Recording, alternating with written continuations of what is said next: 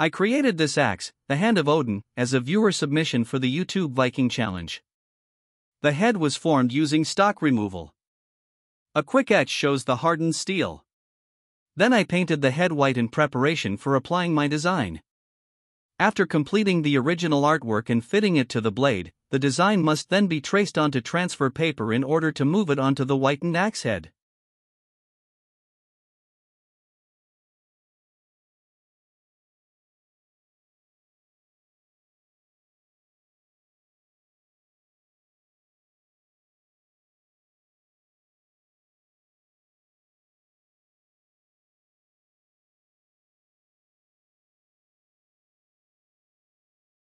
My picture transferred lighter than I wanted, so I then drew over it a second time with a soft lead pencil. This will help assure the reference lines survive numerous ferric chloride baths.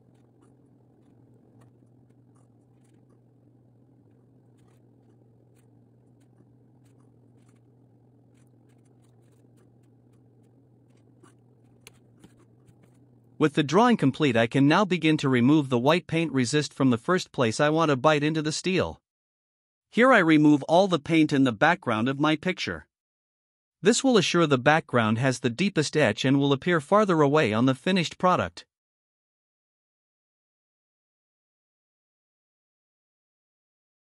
With all the background resist removed I can now begin the first of the many etches that will be involved in this project.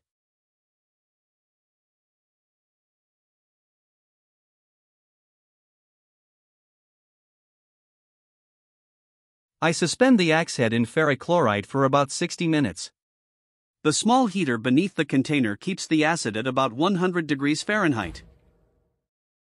After completing the first etch, you see the affected steel begin to darken. The next series of slides show before and after pictures of the seven separate etches involved in this project. At each step, I only remove the resist from the portion of the picture I wish to appear the next farthest in the distance. This will give the finished product a three dimensional look and feel.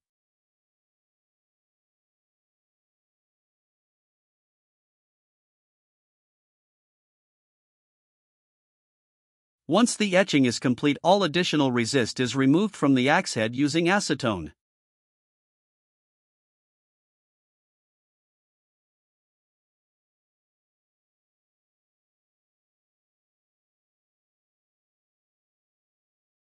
With all of the etching done and resist removed, I will now cold blue the entire axe head. This will darken all aspects of the design, which will eventually create the shadows and highlights on the piece.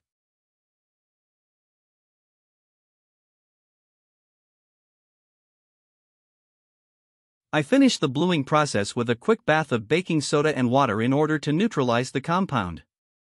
Now I sand the entire head using 2000 grit sandpaper. This is the most exciting part of the work as you now begin to see what your etched artwork will look like. How much you sand each area is a matter of artistic preference as sanding removes the bluing from the higher spots of your work and leaves the recesses darker.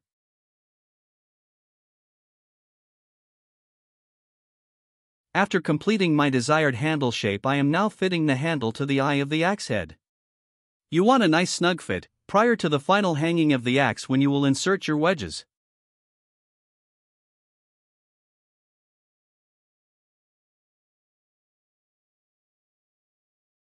Now I am beginning work on the eye cap which will fit over the proud portion of the axe handle. I have designed this axe with a war spike for the eye cap.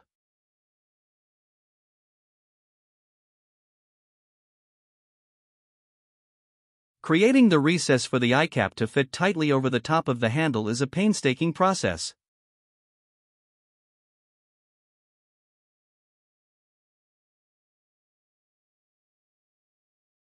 The completed eye cap is painted white in preparation for etching a design that complements the artwork on the axe head.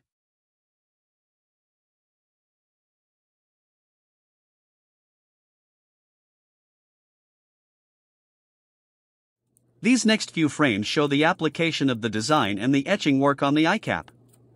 This process is done just like it was on the axe head.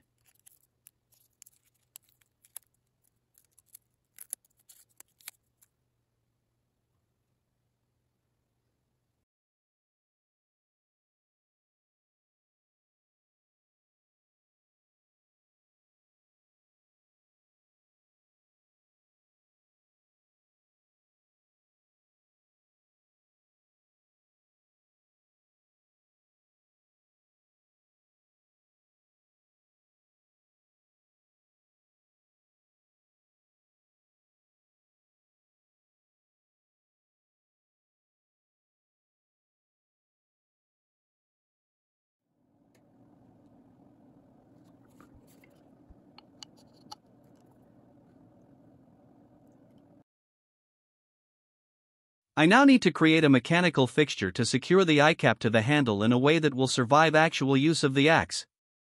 I plan to create a tapped finial and a special steel wedge that will have a threaded protrusion for the finial to screw onto.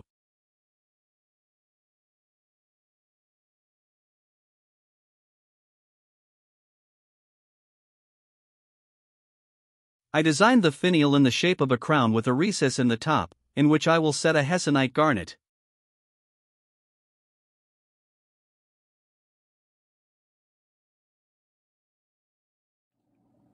The completed finial.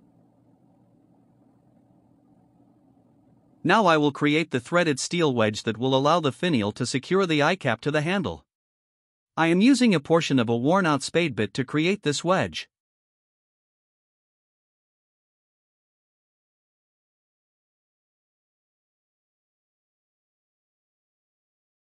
Once the wedge has been inserted into the top of the axe handle, I also add a hardened steel pin that runs through the handle and the steel wedge to further secure the mechanism.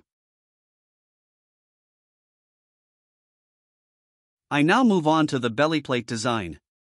I am forming the belly plate out of sheet steel. The belly plate will be etched with the same knot design I created for the hammer on the back of the axe. The etching process is again the same as for the previous pieces.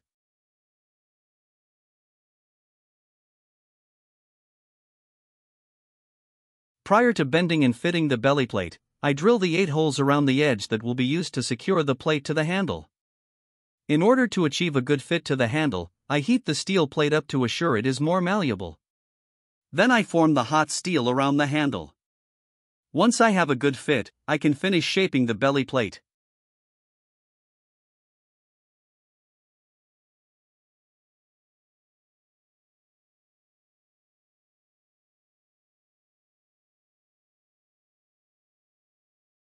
The belly plate is secured to the hickory handle using brass nails.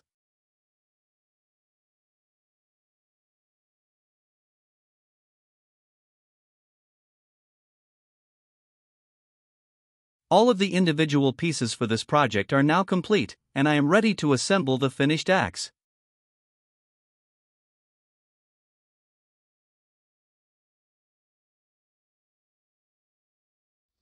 The finished product after adding a deerhide lace wrapping to the throat of the handle.